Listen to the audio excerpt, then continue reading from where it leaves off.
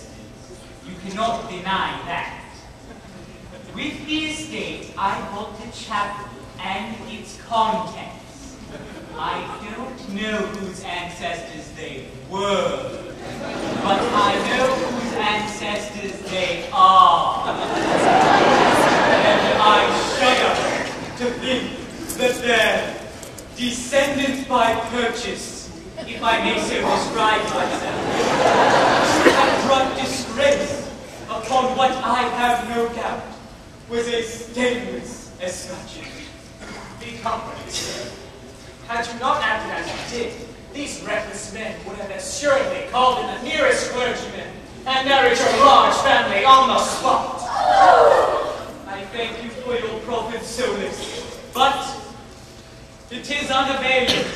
I assure you, Frederic, that such is the anguish and remorse I feel at the abominable falsehood by which I escaped these easily deluded pirates, that I would go to their simple-minded chief this very night and confess all. Did I not fear the consequences would be most disastrous to myself? At what time did your expedition march against these scoundrels? At 11. At 11 and before midnight, I hope to have atoned for my involuntary association with these pestilent scourges by wiping them from the face of the earth. And then, dear Mabel, you will be mine.